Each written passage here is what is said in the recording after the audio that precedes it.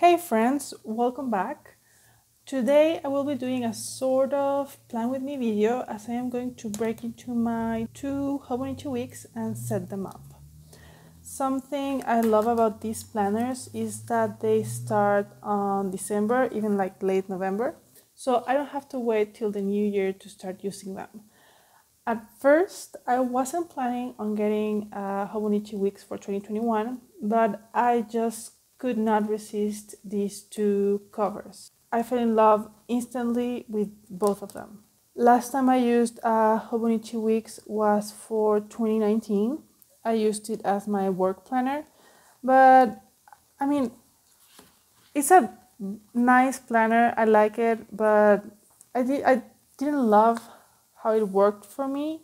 Um, but I decided to give it a second chance because I just I just need I, I mean I fell in love with these two covers. They really they really spoke to me and I think a very important element for successful planning is to have something that inspires you and these two covers inspire me. So I am giving the Hobonichi Weeks a second try. This one is going to take over my, where is it? My take a note planner. This is how it looks like. Oh, wait.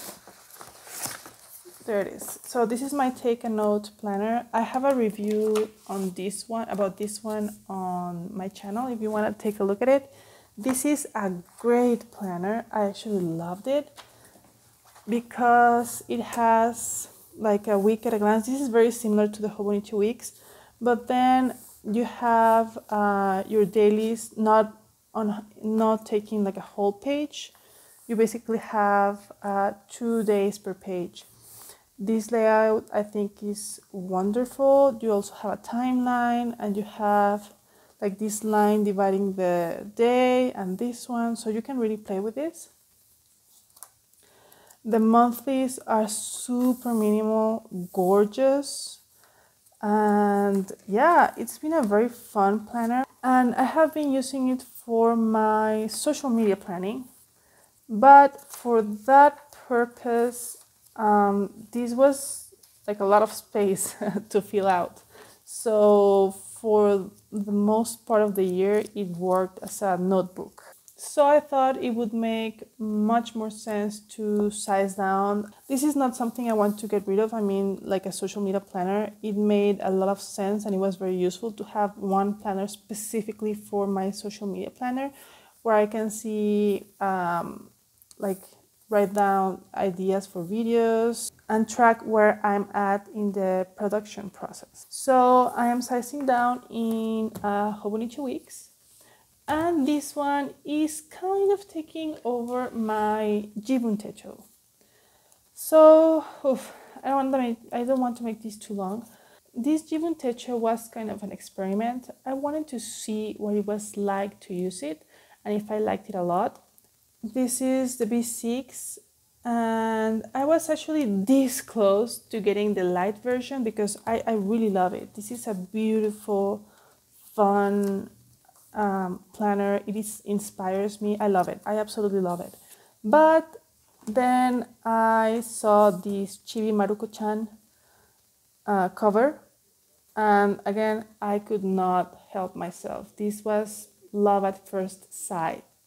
This is just adorable. I mean, this cover, the this beautiful drawing, um, really spoke to me. Really caught my attention I just fell in love with it. I have it inside uh, cover on cover. I'm not a fan of cover on covers for the Hobonichi Weeks because I like actually like the texture, but this one I feel I, I actually like having it inside the cover.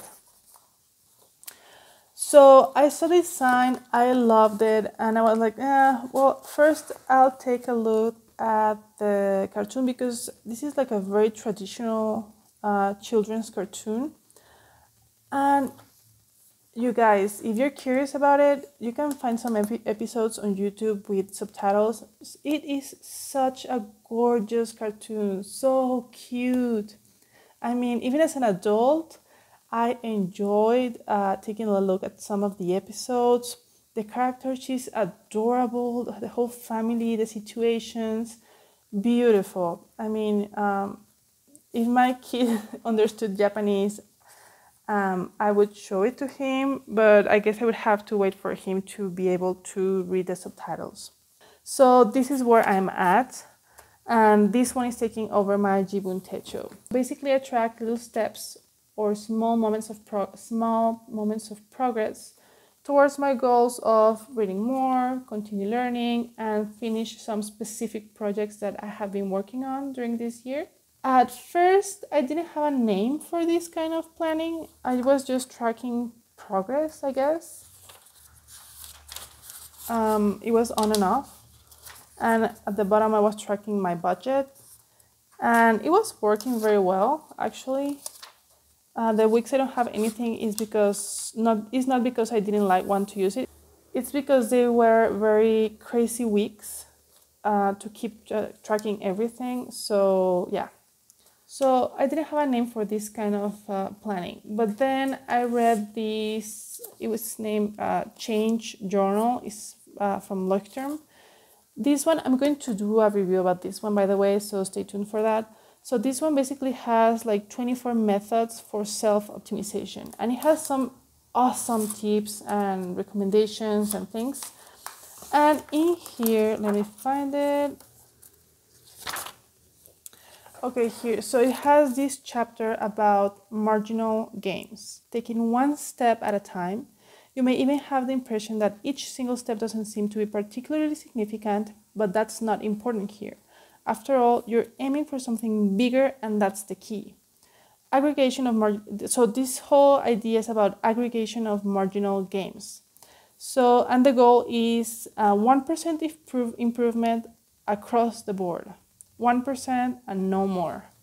So I realized that this is kind of what I was doing here. I was kind of tracking my 1% improvement towards those specific goals reading, writing, um, learning more because I like to take courses every week and every month because I think it's important to keep learning. I wanted to keep track of my progress in here and also some specific projects I had.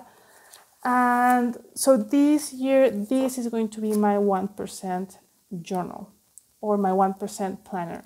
This is where I'm going to keep track of those marginal gains, uh, those little steps of progress that get me closer to uh, things I want to achieve. Basically, the question that this planner is going to answer is What did I do today to get a little bit closer to my goals and to get a little bit closer to the person I want to become. I don't pressure myself, as you saw in here, to do it every day, but at the very least, I want to aim for a small step or some little improvement every week. In this video, you're going to join me as I set up these two planners for next year. Well not just next year i'm actually start uh, going to start using them this week because they start this week. As you can see i laid out with pencil how i want to set them up. I always uh, kind of try out with pencil how i want to use them i find that taking the moment and the time to do that makes my planning process more efficient so, without anything else to say, let's start. I'm going to begin with my social media planner. I already have my month tab. These are the ones you can find them on any like Staples or Office Depot. And these ones, where is it? Those are the Hobonichi brand tabs. They're sized for the A5 and the A6. They're a little too big for this monthly layout, but I'm fine with it. I don't mind because I keep moving them. Actually, I had them on my take a note monthly uh, calendar, and I just keep uh, like I remove it and I move it for the next week, and I just keep moving them and basically this shows me at a glance where I'm at where I'm at in my um, in my process producing content. So right now this is the first week. That's why it only has post-its because then I move them to the next week and I just mark with pen when I did publish a video so I can see at the end of the month I only have like a view at a glance of the videos I published each month. On the bottom here I'm going to have my goals. So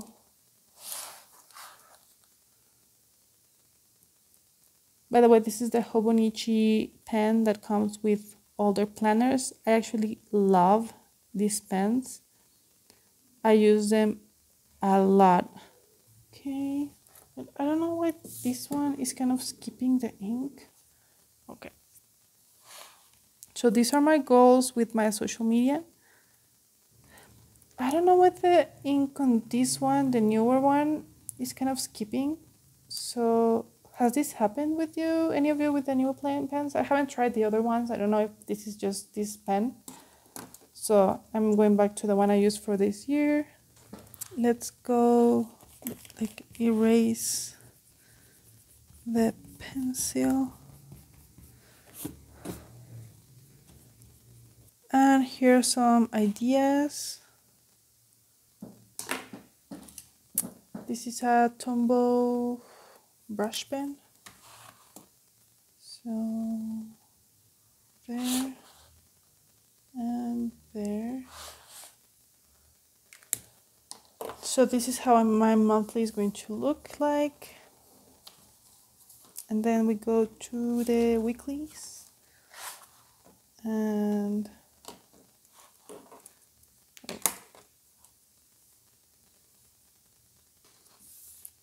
so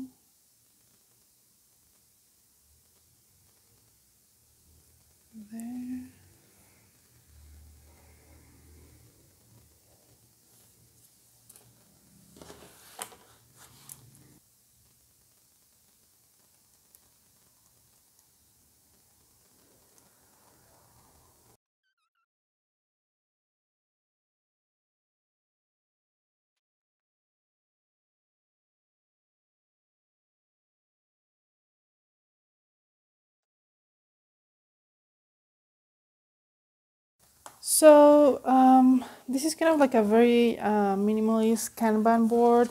Um, I don't know if you're familiar with that um, planning, I guess. What is it? Style? Well, it's not a style. It's like an efficiency tool. So um, basically, a Kanban board shows you where you are at in a planning process. For example, if I have to do one video, I can see like backlog, to do, in progress, or complete and basically you start moving like this is a task you move it from one place to the other and you can see very easy where you're at and you're just getting rid of tasks. This is how i did it how i did it this past year but i don't like wasting that much pa paper with the post-its so i am doing it this way. I am marking uh, with, with, a box, like checking where I'm at in the process until I get to the publish uh, section. So I'm going to then highlight with my Tombow. Oh my god, that's horrible. This is not the one. There it is. Okay. Well, okay. Mistakes happen. And this is the goal. So this is a very minimal, straightforward setup for my and planning for my social media planner. Now let's go with my 1% planner. The monthly, I'm not going to do much. Here's my tab. I'm just going to add some of my goals and leave some space for milestones.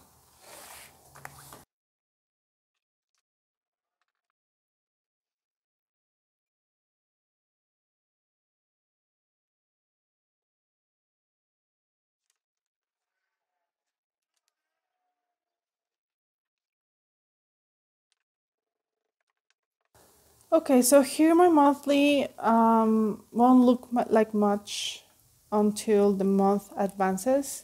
So here are my basic goals. So this, I want to publish at least six videos during the month. That's my minimum goal for this month. We'll see how it goes we, because we're moving to another state and you know, things happen. And I want to finish two books this month also. And this is where I'm going, going to write down my milestones at the end of the month. This space, I'm going to use it to mark when I end each book and when I reach one of these milestones and some updates with my goals.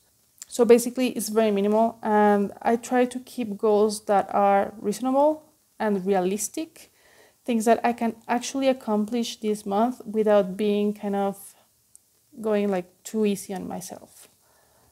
And then we go to the weekly. Here I have the Chibi Maruko chan um, pencil board. I, I mean, isn't this just beautiful? So cute. This is very different from the other pencil boards because this is kind of like a, I don't know if you can see it. I mean, you can see the reflection of my lamp. So this is kind of like a very uh, shiny surface, kind of like a hologram. And it has Chibi Maruko. I mean, this is kind of like very dreamlike, very inspiring. Inspiring. I think uh, I don't know. I just love it, really love it, and I it makes me happy to look at it. How creative and beautiful and kind of whimsical this is. This is how my weeks are going to look in here. I kind of went over everything with pen with pencil to see how it might work because I actually did erase a lot uh, to find a way that works for me here. So let's see.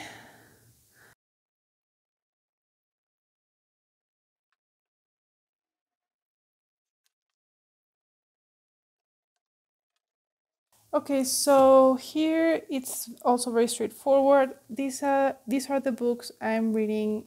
Uh, the uh, I'm reading at the moment. These are the courses I am taking at the moment.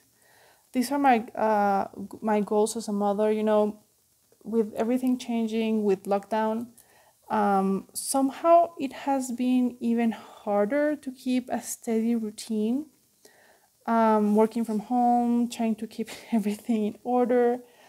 Um, so I try to keep at least two habits uh, steady or constant, no matter how tired I am or what happens.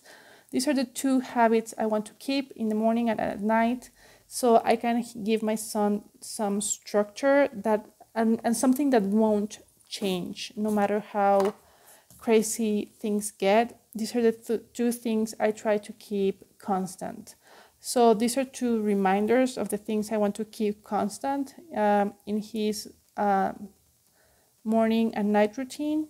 This is the audiobook I'm currently listening listening to. Basically, what I do each day, I write, for example, if on Monday I'm on page five and then on Tuesday I'm on page 10, I mean, that shows some progress. So also on here on Monday, I would write down that I did uh, shoot this video. That's progress. Um, I didn't continue with my courses today, but I am going to do it tomorrow, and I would write down where I'm at.